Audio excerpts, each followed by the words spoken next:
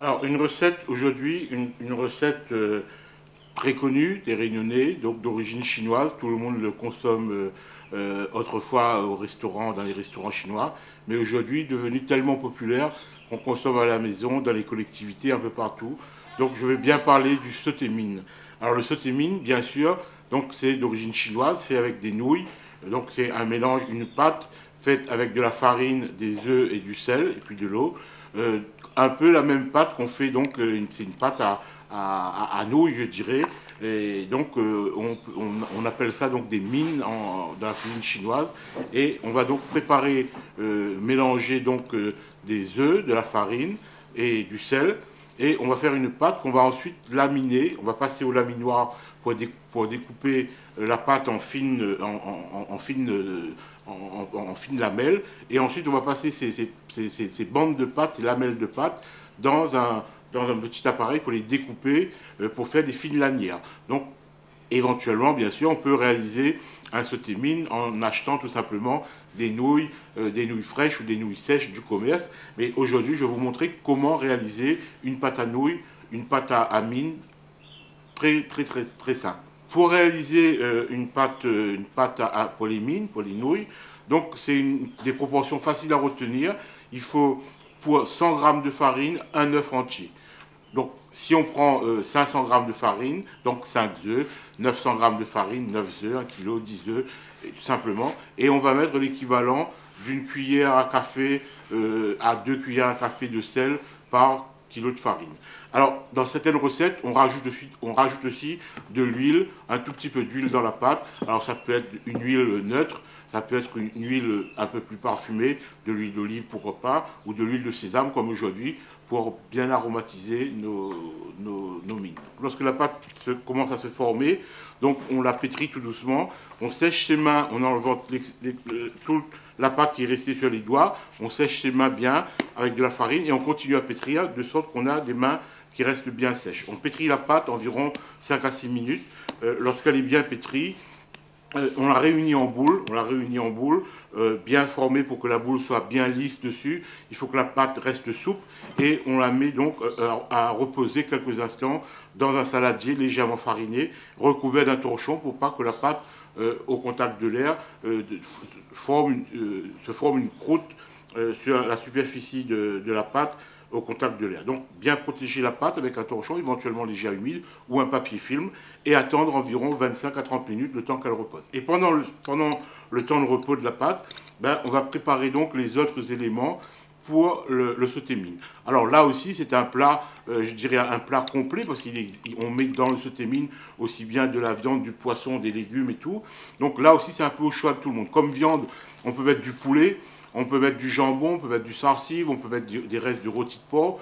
Comme poisson, la plupart du temps, on, peut on met des crevettes, mais on, pourrait mettre aussi des petites lanières de poisson, pourquoi pas des calamars, etc.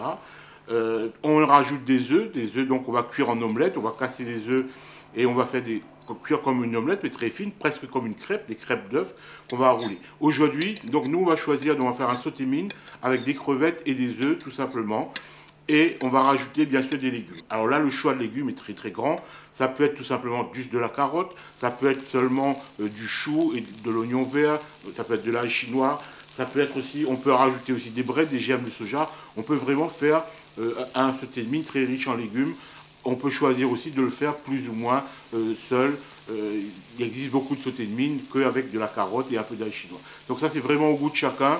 Moi j'aime bien quand il y a suffisamment de légumes, donc je vais utiliser de la carotte que j'ai râpé tout simple, que je vais râper en fine julienne, euh, un chou, un, morceau de chou que j'ai émincé grossièrement, et puis bien sûr on va préparer donc des breads, des feuilles de bread. Alors là, différentes variétés de bread chinoises qui existent. Hein, il existe le petsai roulé, le, les breads chinoises courantes qu'on trouve à la Réunion. Il y a plein de bread qu'on peut mettre dedans. Donc on va, on va préparer tout ça. Et lorsque nos légumes seront prêts, on va donc terminer les pâtes. Lorsque la pâte euh, a reposé environ 30 minutes, donc on va bien la fariner pour assécher, pour assécher la pâte.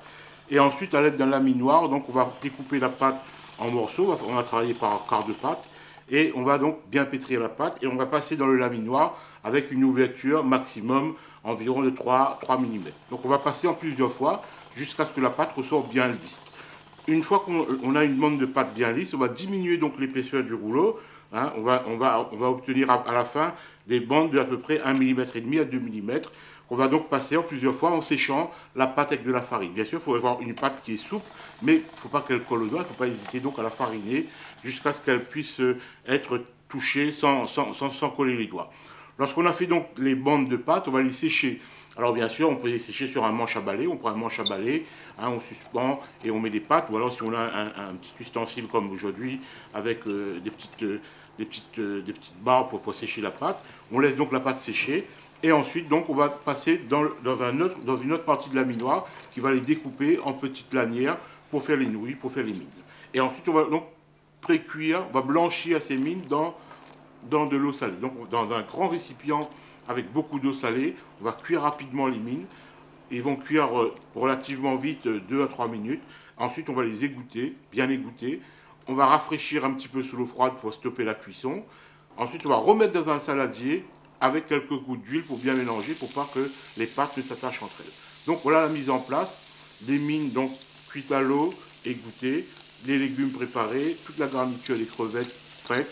Et au moment, de, la, au moment de, passer à table, on va assembler tout ça. Alors pour assembler tout ça, donc dans, un dans une grande poêle, dans un carail, on va donc faire revenir les crevettes. On va donc faire revenir les crevettes qu'on a déjà assaisonnées dans de l'huile.